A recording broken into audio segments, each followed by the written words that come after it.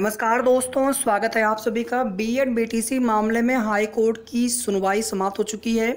सबसे पहले मामला शुरू में सुना गया था, लगभग तीन चार, ढाई तीन मिनट के लिए। उसके बाद फिर से मामले को रिवाइज लिस्ट में डाल दिया गया था। उसके बाद से लगातार हम सभी वेट कर रहे थे कि फिर से मामला अगर विस्तार से सुना जाएगा तो उसमें कुछ निष्कर्ष निकल सकता है। लेकिन फ़िलहाल में ऐसा कुछ हुआ नहीं और कोर्ट की सुनवाई समाप्त हो चुकी है।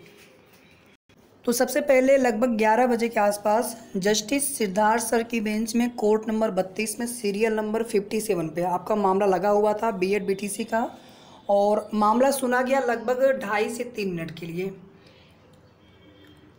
इसके बाद जो स्टे है, वो स्टे बरकरार है। कल की डेट लग गई है। हालाँकि अभी तक केस स्टेटस अपडेट नहीं हुआ। केस स्टेटस जैसे ही अपडेट होगा या फिर अगर आज का कोर्ट ऑर्डर आता है तो तुरंत आप सभी को हमारे चैनल के माध्यम से उसकी जानकारी दी जाएगी। फ़िलहाल में आप देखेंगे फिफ्टी फोर तक मामला सुना गया। रिवाइज यहाँ पे देख सकते हैं रिवाइज लिस्ट की बात यहाँ पे की जा रही है।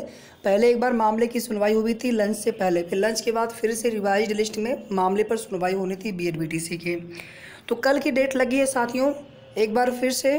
और फ़िलहाल में सुनवाई समाप्त हो चुकी है और जो स्टे है प्रमाण पत्रों के वितरण पे वो स्टे बरकरार है, उसमें कोई अभी रोक हटी नहीं है। तो इतनी ही जानकारी आज की सुनवाई को लेकर के, बाकी शेष चीज़ें आपको केस स्टेटस आने के बाद और कोर्ट ऑर्डर आने के बाद आपको विस्तार से बताई जाएँगी। तो वीडियो को आप सभी प्लीज़ लाइक, शेयर ज़रूर कर दें और जिन साथियों ने अभी तक चैनल को सब्सक्राइब न किया हो तो प्लीज़ सब्सक्राइब कर लें। सही और ऑथेंटिक जानकारी पाने के लिए आप सभी हमारे चैनल से इसी प्रकार से जुड़े रहें। धन्यवाद।